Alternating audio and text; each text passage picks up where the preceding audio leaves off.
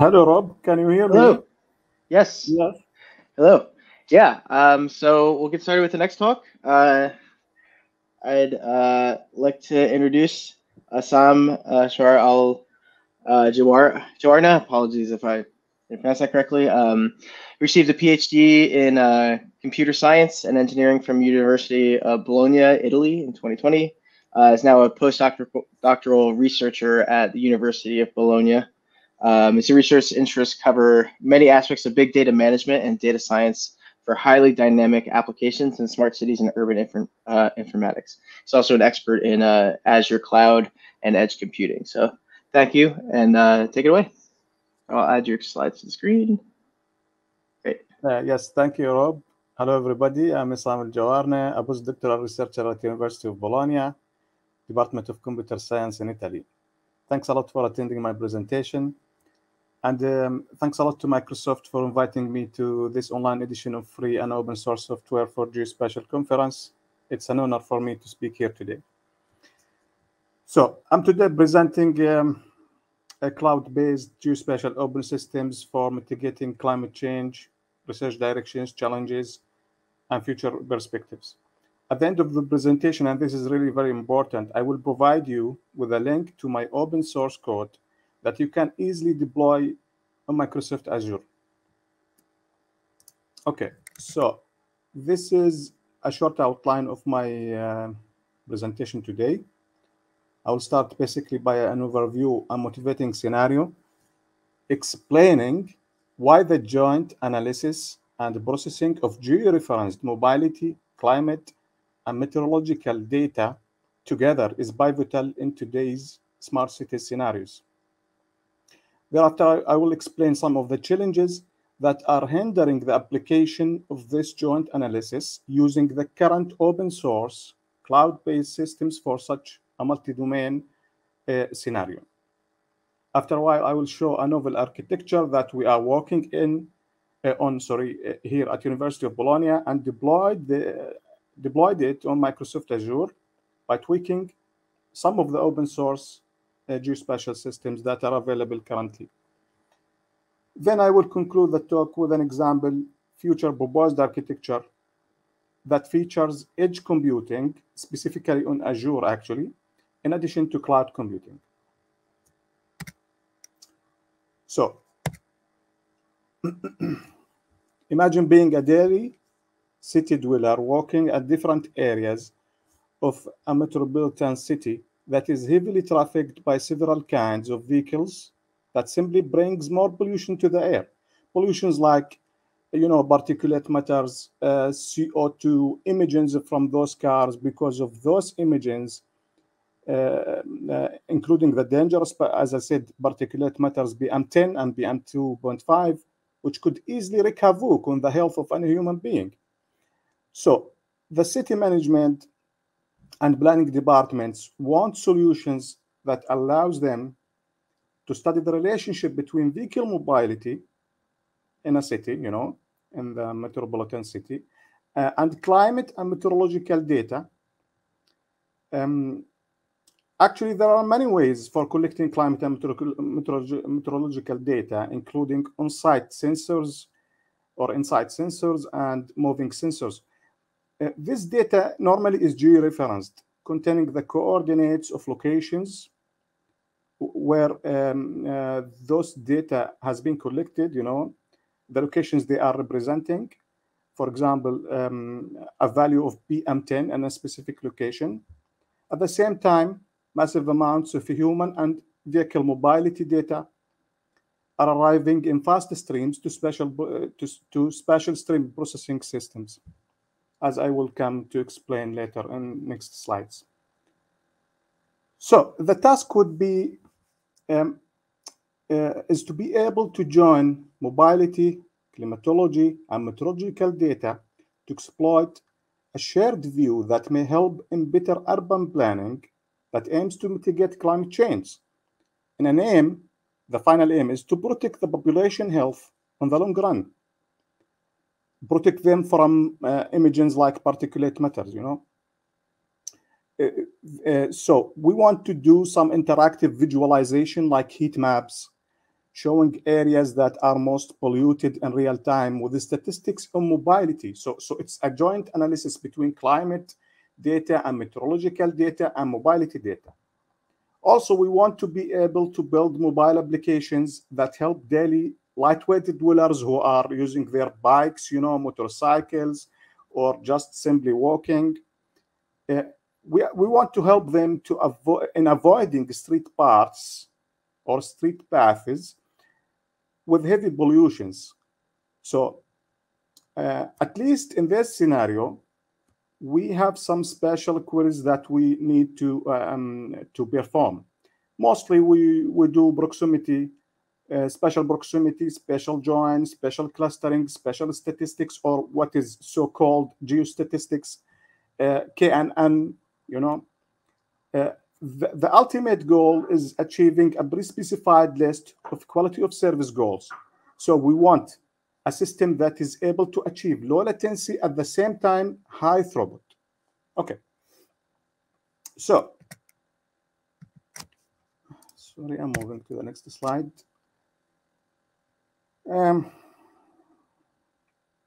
so this is simply an overview of want, what we want it to be in order to bring the joint meteorological and mobility and also climate data analytics into reality. We want simply to join, as you can see in the figure, georeferenced meteorological and climate data with mobility data, vehicle mobility data and human mobility data, okay, Uh, using geometric coordinates. So we want to use the coordinates from both data sets to join the data into a unified view. Imagine then being able to answer advanced query, complex queries, spatial queries, such as selecting, for example, the top five neighborhoods where the particulate matter is greater than a specific value, and also the mobility statistics, like the count of, mobile, of uh, vehicle mobility in those areas is greater than a specific value. Without joining the meteorological and mobility data, this kind of queries is impossible. Uh, a little background, actually, we need here. Uh, as we said, we need, we need some uh, to execute or to perform some of these geospatial queries, such as proximity query and containment query. Uh, proximity query is a query that is asking um, uh, asking for a set of data that far away from a point of interest with a specific range.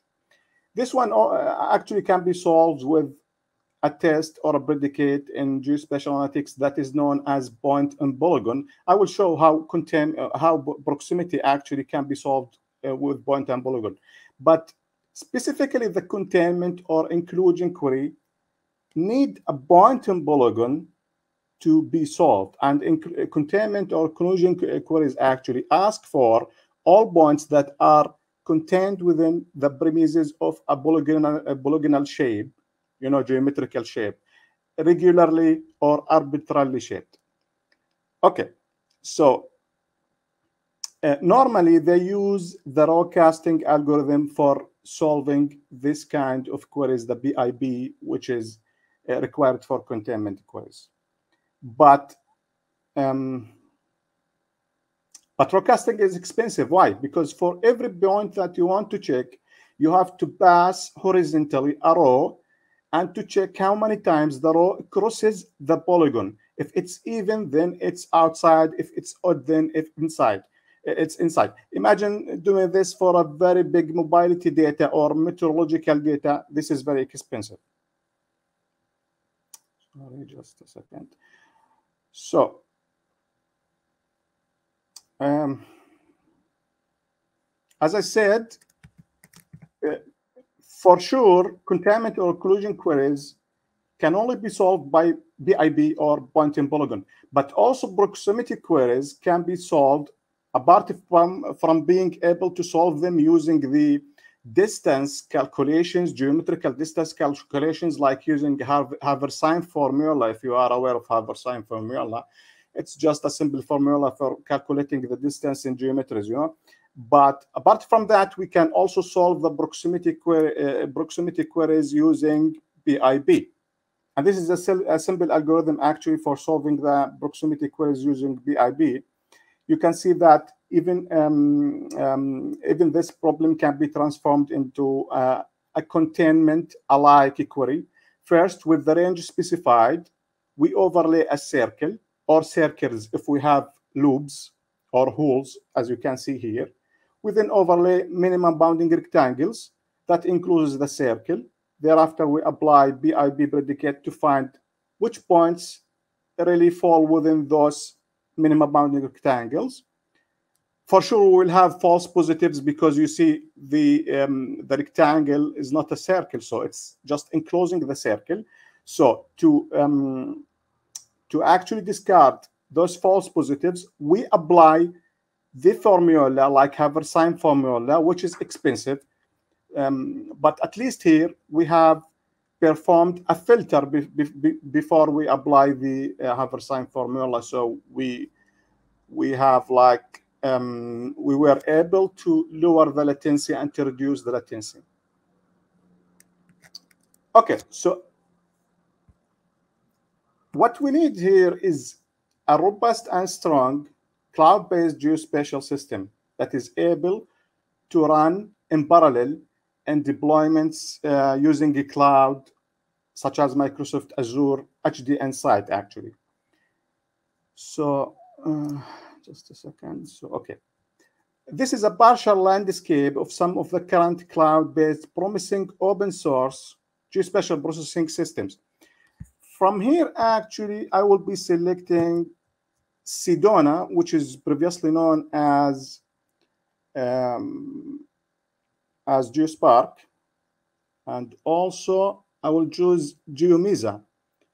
GeoMesa actually is a very interesting um, framework uh, as an open source cloud-based geospatial system because it is featuring filter and refinement. I will explain what is filter and refinement here for spatial join because spatial join is very essential operation and geospatial analytics in the cloud. Um, so the desired features we need for our scenario is at least a system that is featuring filter and refinement. Why? Because it's cheaper than other um, uh, spatial join methods. Because our task is joining two datasets that are geo-referenced. Then also we need SQL-alike support.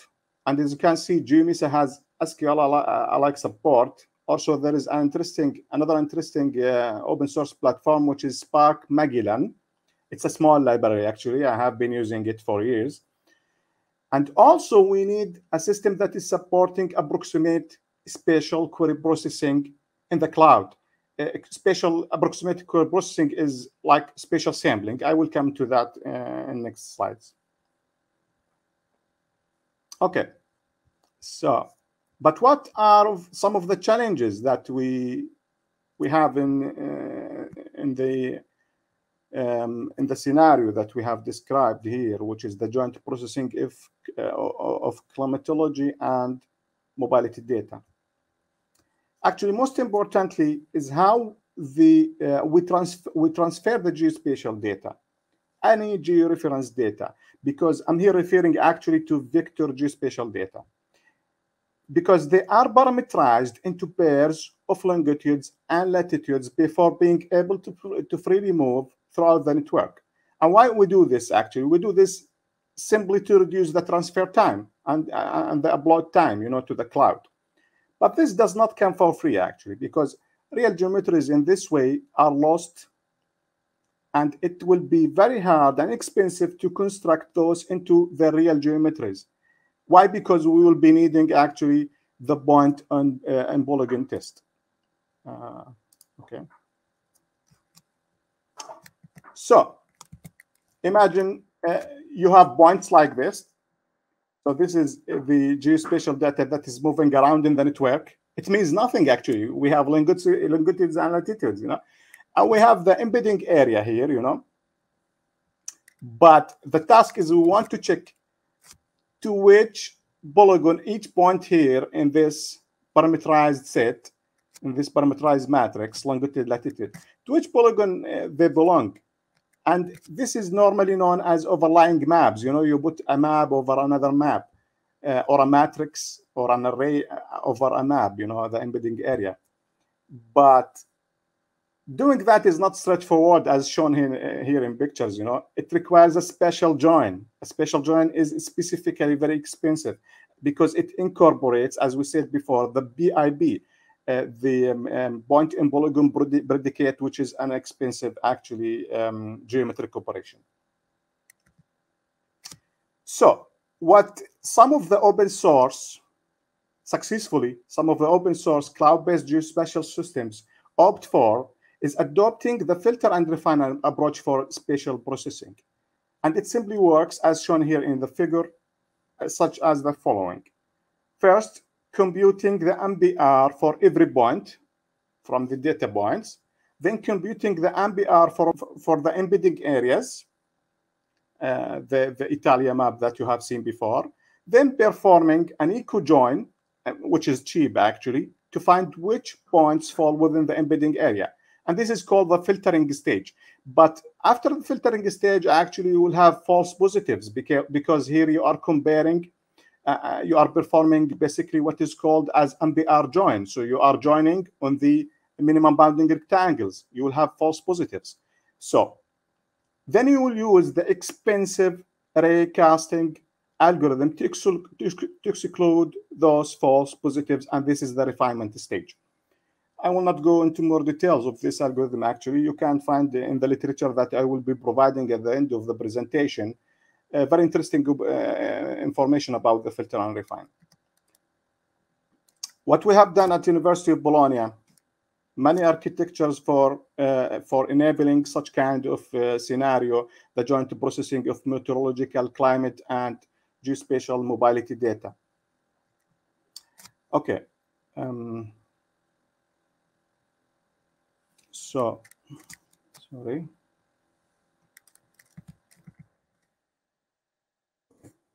This is so since few open source systems apply the filter and refinement approach, like GeoMesa and Sparks Magellan, etc., it is then possible with a simple code tweak to adapt actually those systems so that we can join georeference mobility and climate and meteorological data. As it's shown here in the figure, and this is a proposed architecture that we have proposed at University of Bologna, we simply generate uh, minimum bounding rectangles for each data set uh, independently the geometrical, um, uh, sorry, the um, mobility data and meteorological data, and also the climate, uh, the climate change data. Uh, then you generate for each data set the minimum bounding rectangles, and then you can directly apply the uh, any any open source system that is uh, adopting the filter and refinement approach, such as GeoMesa or Sparks Magellan or even Sedona. Uh, the result would be here a unified view of mobility and meteorological data. But without having a system that is providing a very fast join operation on geometrical da uh, georeference data, it would be very expensive. Okay, but actually this is alone is not enough. What if mobility data is arriving very fast? and characterized by being temporally fluctuating in skewness and in arrival rate, then approximate processing is very important and is a must. And it's based on the fact that tiny losses in accuracy do not affect the correctness of decision making. That said, approximate results with rigorous error bounds are acceptable for decision making in scenarios like our scenario here, the joint processing of meteorological and mobility data. Imagine generating, for example, heat maps where the color codes really are not the things that matters most. Um, um, um, not the the color uh, sorry uh, the color codes are the things that matter most not the exact distribution of data. So you don't want to know the exact distribution. You, you just want to generate heat maps with different color codes you know? Okay um, so we have built a very interesting framework for spatial approximate processing by simply tweaking some of the open source systems, specifically Apache uh, uh, Sparks Magellan, actually, which is a library on top of uh, Spark, you know. Um, and we have actually applied it to Apache, uh, Apache Spark structured streaming for performing quality of service aware spatial sampling specifically. And we have tested it and deployed it on Microsoft Azure. In uh, the literature review that I will be providing at the end of this presentation, um, you can find more information about uh, this interesting framework. So, in conclusion, open source geospatial cloud-based systems are still in their early stages and need to be significantly improved, in my opinion, in several directions, including the approximate query, uh, processing, geospatial approximate query processing, in order to unleash their full spectrum capacity for joint analytics or joint sorry analytics of mobility, climate, and meteorological data. Why I'm saying this because even the uh, while with using the filter and refinement approach, uh, you still have to tweak those systems to be able to apply it to to apply them to such scenarios. Okay, so as a future research perspective, we believe that offloading and part of the work, for example, the sampling for approximate query processing, near the data, uh, by, by near the data, I mean to edge devices, can boost significantly the performance of cloud deployments for integrated processing of georeference mobility and meteorological data.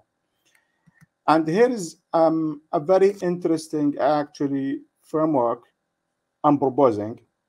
Look at this example. For example, uh, we have two samplers, um, and this is deployed in Microsoft Azure, actually two samplers hosted in containers deployed on Azure I2, I2 Edge, IoT Edge, sorry, mobility sampler, and meteorological sampler. Each sampling portion of the data, sending it to Kafka, Kafka brokers, you know, uh, deployed on HD Insight cluster in Azure, which then utilize, uh, utilizes um, an IoT Kafka hub connector to feed the data from the Kafka to an Azure IoT, hub. The data is then will be um, is then available for consumption by a Spark streaming cluster deployed on an Azure HD Insight cluster. So by porting the sampling part to Azure Edge, we reduce the data upload and reduce the processing required by the cloud. Okay, so in this link, you can find actually my code, which is an open source code for cloud-based spatial approximate query processing with instructions, very clear instructions to deploy in Microsoft Azure. Um, actually, it's um, deployed on an, uh, a Kafka HD Insight cluster with Spark HD Insight cluster, communicating directly actually in a virtual network where data streams arriving through a gateway will be actually forwarded to the network. Um, finally, I would like to say that we are open for collaboration. Our group, Mobile Middleware Research Group at University of Bologna, is open for collaboration, uh, research collaboration on any of the areas that I have presented today. So please feel free to contact me, Isam Jawarneh. Also, you can contact Prof. Luca Foschini uh, from our group. Um, I advise you actually, if you are interested in some of those topics in the um, uh, here in the presentation, I advise you to have a look at the at this list of the relevant uh, state of art, you know, for more information about those topics that I have been discussing today. Thanks a lot, uh, actually, thanks a lot to Microsoft for awarding me the AI for Earth Microsoft Azure Compute Grant on the form of credits for consumption for resource uh, Azure resource uh, consumption. For more, my project titled Supporting Highly Efficient Machine Learning Applications for Reducing the Impact of Climate Change on Human Health in Metropolitan, uh, metropolitan Cities. Uh, thanks a lot for attending my uh, talk. And uh, that's it. It's a questions time if you have questions. Awesome. Thank you so much. Thank you, Rob. Thank you so much. Yeah, it's really interesting. Um, you know, the I was talking earlier about sort of shoring up the foundations of how we can access data and combine uh, different data types and um, you know the fact that these sort of distributed spatial queries and joins are still you know being worked out i mean speaks to the amount of work that we need to to do to be able to you know combine this type of you know mobile data and, and climate data um, yeah. and how important that is so thank you so much for uh, for presenting um, i don't see any questions in the chat um, so yeah we'll end the session there and i uh, just want to say uh, thanks again to all our speakers, and we'll uh, catch you again in the afternoon session. Thanks so much. Thank you. Thank you so much, Rob. Bye-bye. Bye-bye.